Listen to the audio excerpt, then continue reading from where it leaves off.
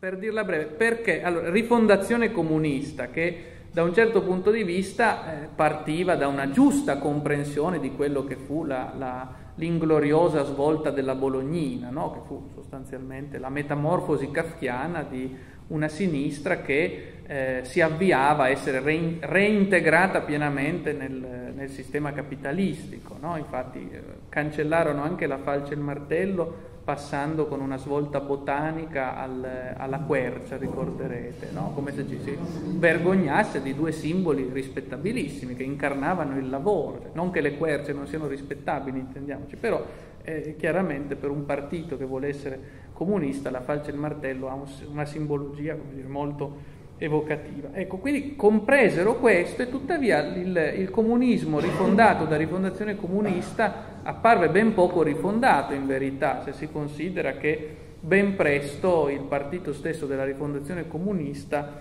eh, in qualche modo si è, si è risolto in, in figure eh, come Fausto Bertinotti che nel 2014, non distante da qua, credo fosse a Todi, disse che alla fine eh, il comunismo aveva fallito e che bisognava riconoscere al liberalismo la massima carica emancipativa. Sono parole sue che potete... O se pensate anche a Walter Veltroni che disse di non essere mai stato comunista. Ecco, questa mi ha sempre colpito in effetti, perché uno può dire legittimamente sono stato comunista, non voglio più esserlo, legittimo, però dire che non sei mai stato comunista a me ricorda quando in realtà lo era, ci sono le foto, era nel PC, eh, insomma, eh, legittimamente, eh, mi ricorda sempre due storie diverse ma che hanno qualcosa in comune, quella di, del fu Mattia Pascal, ricordate che a un certo punto decide che gli conviene cambiare identità perché non riesce più a sopportare quella precedente, si inventa una nuova vita e appunto non sono più comunista. Oppure quella di, di Apicella, ricordate Palombella Rossa di Nanni Moretti? No? Apicella ha un incidente ed è affetto da amnesia, non ricorda più il proprio passato. Ecco. No, non so se sia caso Apicella o caso, o caso fu Mattia Pascal, però ecco, mi pare che questi tentativi di rifondare la sinistra non siano efficaci perché, eh, come dire, nessuno di questi eh, dice la cosa fondamentale, cioè che il capitalismo in quanto tale non va riformato, eh, semplicemente limitato o migliorato, ma deve essere superato, deve essere superato in nome di qualcosa di diverso. Tanto più che tutti questi partiti hanno, a mio giudizio, un erramento fondamentale nel loro codice, cioè l'ideologia del progresso. In qualche modo l'ideologia del progresso, che è la peste ideologica che infetta la sinistra eh, e che non era presente in, eh, nel movimento socialista delle origini, no? il movimento socialista delle origini non aveva alcuna, alcuna simpatia per il progresso, anzi in molti casi lo detestava fino a forme parossistiche come, come quelle luddistiche variamente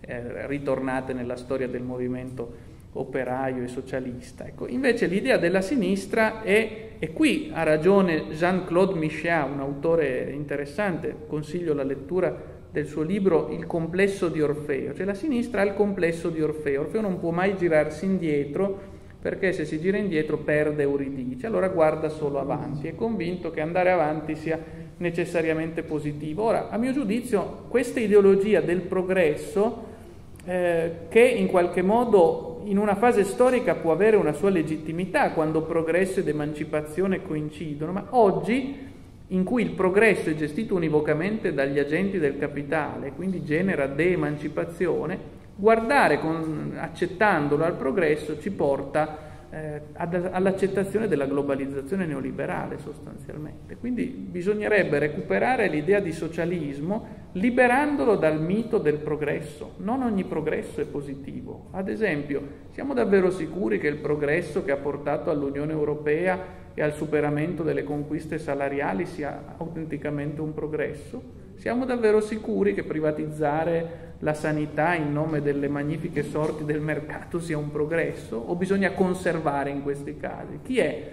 Chi svolge una funzione democratica e socialista? Chi smantella in nome del progresso o chi conserva in molti ambiti e poi anche, ad esempio nell'ambito ambientale. Bisogna oggi portare avanti lo sviluppo della tecnica e del capitalismo fino alla fine o è veramente socialista chi conserva e difende in questo caso la...